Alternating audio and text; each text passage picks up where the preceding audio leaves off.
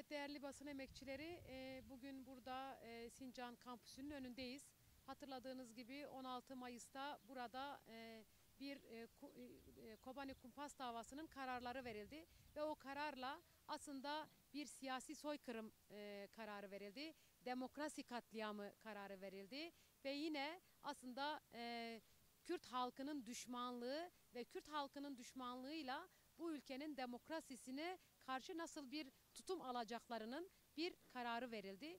Bu çerçevede e, biliyorsunuz geçen hafta eşkenel eski eşkenel başkanlarımız e, ziyaret edildi Kandıra'da ve e, Edirne cezaevinde. Bugün de burada Sincan'da e, Kobani dosyasından dolayı tutuklu olan e, arkadaşları ziyaret ettik. Ben kadın arkadaşları ziyaret ettim. Erkek arkadaşları da e, Sezai Başkan ziyaret etti. Kadın arkadaşların başta söylediği bu dosyada öncelikle evet e, bir siyasi dosya, bir siyasi soykırım dosyasıydı ve kadınlar yargılandı. Gerçekten e, de- Kobani'de kadın devrimi mücadelesi vardı. Kobani'de kadın öncülüğünde halk birlikte nasıl yaşayabileceği bir sistem inşa edilmek isteniyordu ve burada bu cezalarla aslında kadın mücadelesi, kadın devrimine e, karşı bakışın ne olduğunu, nasıl düşmanlık e, e, dü- düşünüldüğünün bir sonucuydu verilen cezalar. Bir kere Kobani Kumpas davasını niye kumpa, kumpas dediğimiz bir yerde işte bir tarafta bütün dünyanın başına e, e, bela olan bir IŞİD çetesi var ve bu IŞİD'e karşı e, insanlık onurunu, insanlık mücadelesi veren e, e, kadınların işte kadınların Kürt halkının mücadelesi ve bununla beraber bütün sol sosyalistlerin bütün e, dünyadan herkesin aslında ortaklaşa mücadele verdiği bir yerdi. Aynı zamanda e, dünyanın en büyük dayanışmasıydı, internasyonalist dayanışmasıydı ve bu cezalarla en büyük internasyonalist dayanışmaya da bir ceza verildiğini özellikle ifade etmek istiyorum. Bunu görüşe gittiğimiz arkadaşlar da bunu ifade ettiler. Yine bugün e, bir gerçeklik de var. Bugün evet Türkiye'de bir tecrit sistemi var, bir tecrit rejimi var ve bu tecrit rej- rejiminden kaynaklı cezaevlerinde de had safhada e, e, hak ihlalleri var. Bu tecritin cezaevlerine yansıması boyutuyla cezaevinde arkadaşlarımız da bir boykottalar. E, aile ve avuka, e, e, görüşlere çıkmıyorlar.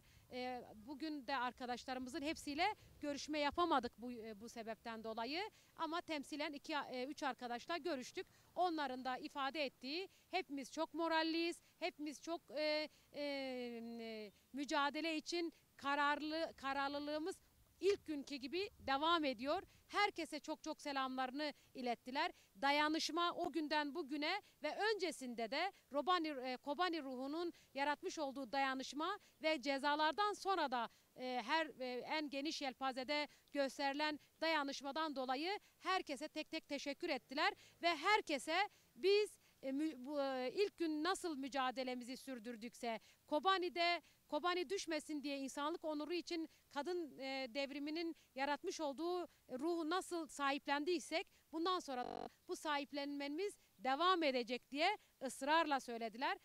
Mücadelesi, onur mücadelesi, özgürlük mücadelesi, demokrasi mücadelesinden asla geri adım atmayacaklarını, her gün e, bunu büyüterek e, devam edeceklerini, dışarıda da bu dayanışmaya için herkese tek tek teşekkür ettiklerini ve e, daha çok bizim onlardan moral aldığımızı da buradan kamuoyunun bilmesini isteriz. Biz de evet bu mücadelenin her zaman yanında olacağız. Demokrasi ve özgürlük mücadelesi tam da e, Kobani savunmadan geçer. Demokrasi ve özgürlük mücadelesi kadın özgürlükçü e, mücadeleyi sahiplenmekten geçer. E, e, demokrasi ve özgürlük mücadelesi bugün yaratılmak istenen faşist sisteme karşı, tecrit rejimine karşı yan yana omuz omuza birlikte mücadele etmeden geçer. Biz tekrardan e, arkadaşlarımızın duruşu, arkadaşlarımızın kararlılığının herkesin bilmesini ve bu kararlılıkla sahip çıkacağımızı belirtmek istiyorum. Ben teşekkür ediyorum. Evet değerli basın emekçileri e, arkadaşlarımızı ziyaret ettik. Arkadaşlarımızın mücadele kararlılığı içeride devam ediyor. Zaten umut dediğimiz meseleyi besleyen de bu mücadele kararlılığıdır. Evet çok vahim bir Kobani kumpas süreci yaşadık. Buna dava demek mümkün değil. Dava niteliği gösterecek içinde hiçbir unsurun olmadığı bir vahim süreci yaşadık. Ve bu sürecin sonunda da vahim kararlarla karşı karşıya kaldık. Bu kararların hiçbir hükmü yoktur. Arkadaşlarımız da e, bu konuda zaten e, bu mücadeleyi sürdürürken sürekli dile getirdiler. Dediler ki bizi yargılayamazsınız, biz sizi yargılarız. İşte bu vahim süreci yargıladılar ve sonuçta da çıkan bu vahim kararların hiçbir hükmünün olmadığı toplum nezdinde de çok iyi bilinmekte. 407 yıl geçen bir toplam ceza söz konusu. Ee, inanın e, bu anlamda hiçbir moral bozukluğu yaratmış değil. Çünkü herkes biliyor ki bu Türkiye'deki adaletsizliğin bir fotoğrafıdır. Bu cezaevi kampüsünün önüne çok defa geldik.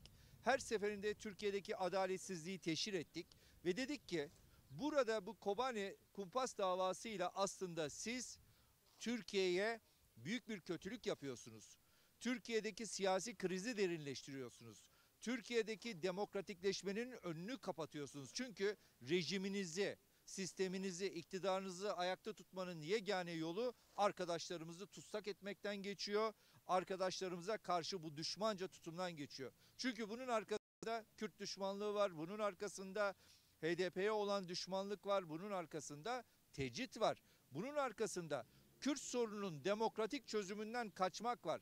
Çünkü arkadaşlarımız dava boyunca da hayatları boyunca da bu ülkede demokrasi ve barış için mücadele etmiş arkadaşlardır.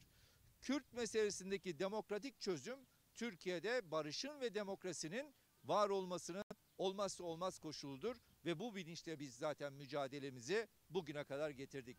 HDP zaten Türkiye haklarının buluşmasıdır. HDP zaten Türkiye'deki emekçilerin, kadınların buluşmasıdır.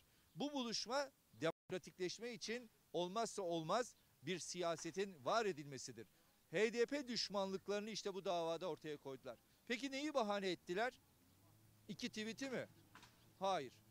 Bahane ettikleri şey tam da buydu. Bahane ettikleri şey Kobani'nin düşmemesiydi.